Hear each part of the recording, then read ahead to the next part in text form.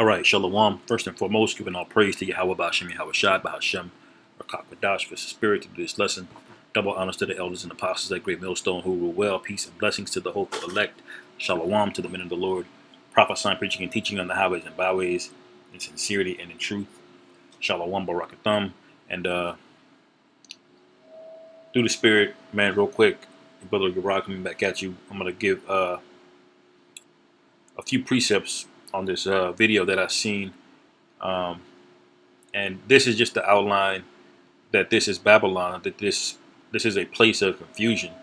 All right, that the scriptures, you know, they warned us against, you know, all throughout prophecy, the scripture spoke about our people being in a city, in a place where there's just confusion. Things are turned upside down. People are fighting against one another. That these alternate philosophies are going back and forth, and and that we were we were not to trust in this place because that's what it is. It's confusion.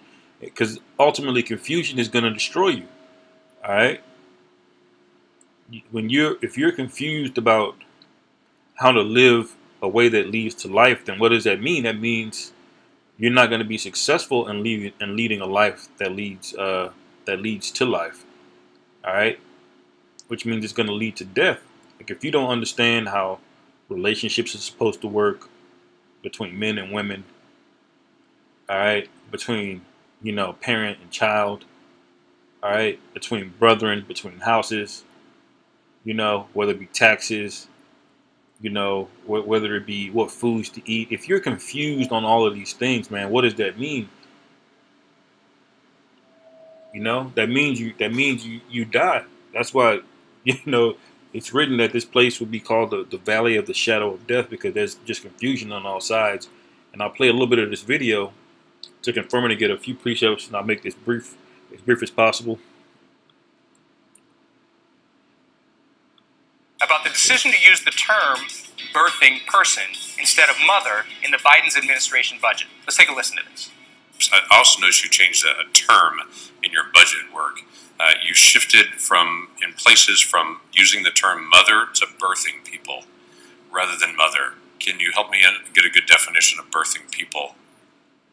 Well, I'll, I'll check on the language there, but I think if we're talking about those who give birth, I think we're talking about. Uh, I, I, don't know how else to explain it to you other than I, it, I, was a little taken back when I just read it and saw it that it's that the term mother was gone in spots and it was replaced with birthing people and I didn't know if this was a direction that you were going, if there were shifts, if there are regulatory changes that are happening related to that, or what the purpose of that is. Uh, I think it's probably, and again, I, would have to go back and take a look at the language that was used in the budget, but I think it simply reflects the work that's being done. I, I definitely get that. I, I would, I would only say the language is important always. We don't want to offend in our language. I get that.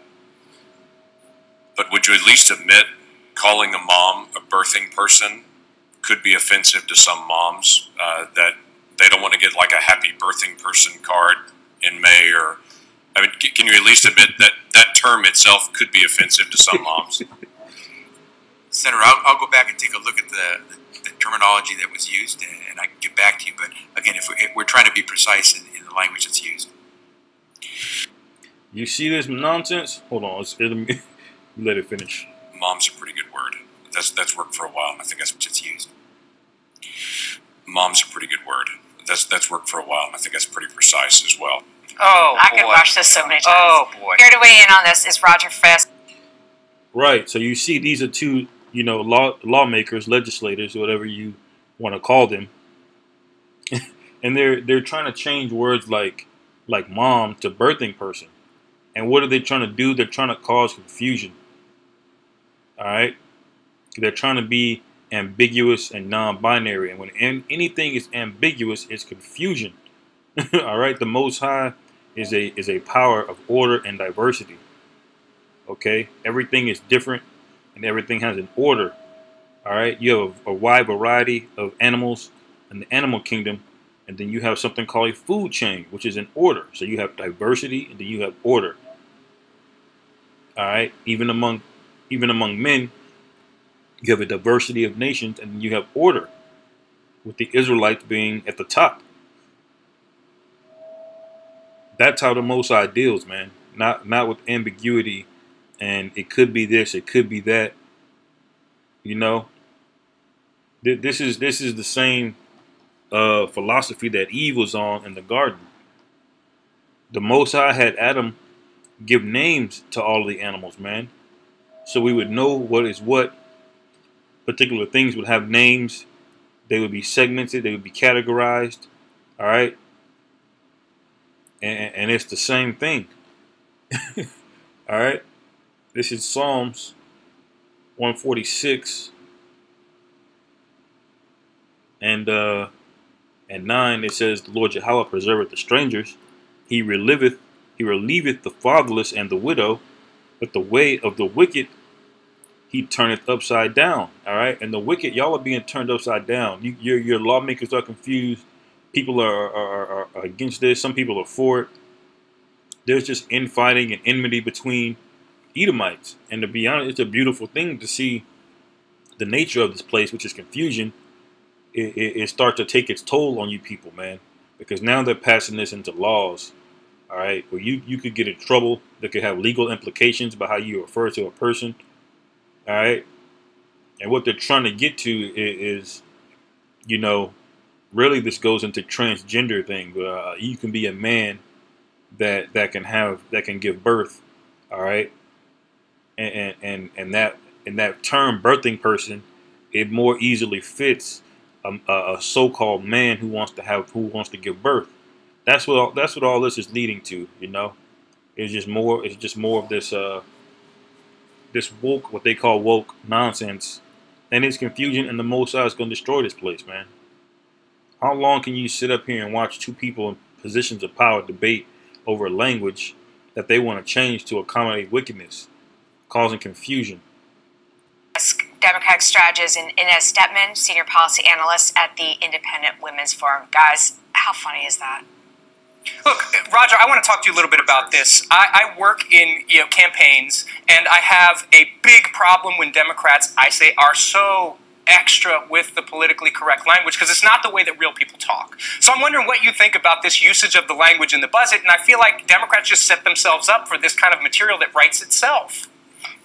Yeah, first off, good morning, um, Colin and Emily, and it's wonderful to be here with Inez. I mean, if if someone was sitting in a laboratory somewhere and said, "Let's come up with the most red meat possible thing we can throw into the cancel culture debate," like this is honestly from central casting. Like you couldn't invent a better thing for the for the kind of echo uh, chamber, and people are going to absolutely lose their minds over this. I have a couple issues with it. One you know, if Becerra wants to go in that direction, then he should just go.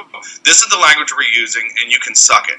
Which is to say, like now, now this, now this is now this is going to be stretched out for weeks, and there's uh-huh. going to be these drip, drip, drip clarifications, and and it's just going to go on and on. When if you, I mean, and another, my last thing is this: we have a very you get the point. These Edomites are upset. Confusion is on all sides the scriptures warned us not to trust in this place. This is uh, Isaiah 30 and 1. It says, Woe to the rebellious children, saith the Lord Jehovah, that take counsel, but not of me, and that cover with a covering, but not of my spirit, that they may add sin to sin. And, and that's y'all, man. Y'all keep following these people, these, these, uh, so-called Democratic leaders. Al Sharpton, what the what the hell is wrong with y'all, man? These people are known to lie and to manipulate, and they're getting paid. Okay? They have houses. They can pay their bills. They don't live paycheck to paycheck. They're pulling the wool over your eyes for a bag, as Jake like to say. And, and you you're voting for these people while they pass legislation, laws, and stuff that's going to destroy you and enrich themselves. It says that walk to go down into Egypt and have and have not asked at my mouth strengthen themselves in the strength of Pharaoh and to trust in the shadow of Egypt. All right, because we've been giving you all the truth. We've been telling you who you are. And a lot of Israelites, they'll see that, you know, Israelites are synonymous with royalty, basically. That we're, we're, we're, uh, we're the perfect underdog because not only are we a royal people, but we've suffered the worst all throughout history for our rebellion, of course. So Jake will vibe with that, but then he, he won't listen after that, man. You know, as Ezekiel says that you know your words are like a lovely song. They hear them but do them not. because ultimately they trust in this place. They trust in in, in America, the American dream. Jake still thinks it's possible. I just did a video about how he's buying up all the land when you can't you can't even own a house. You you have to be a renter.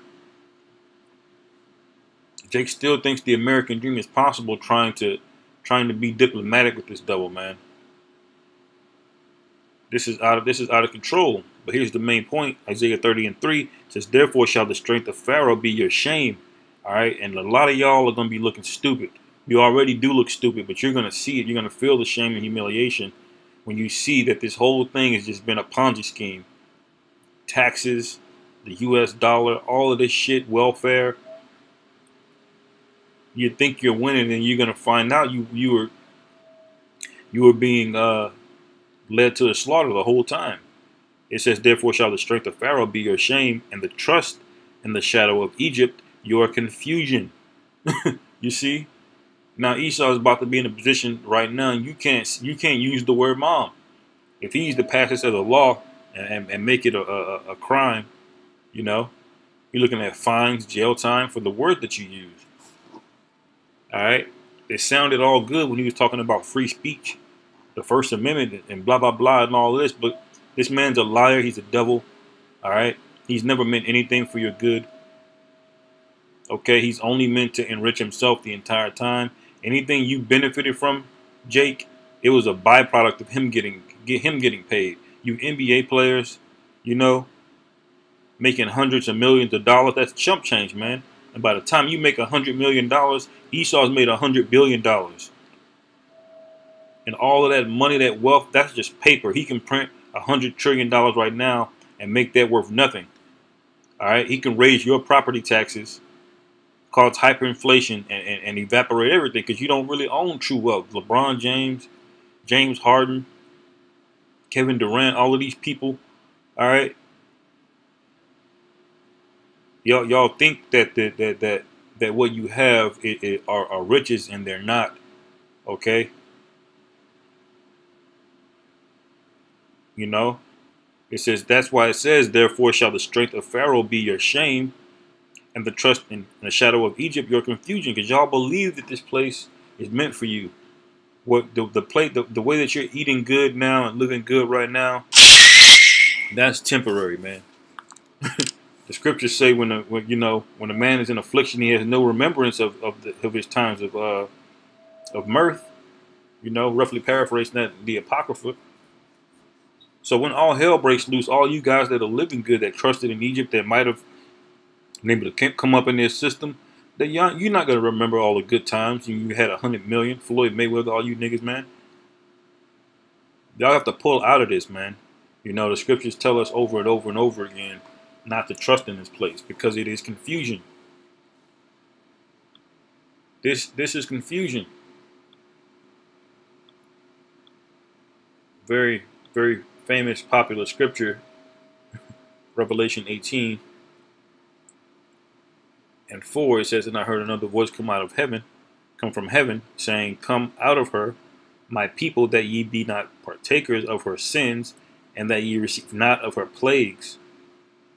All right, now what does the word plague re remind you of? What what famous empire or nation got got hit with plagues? Infamously.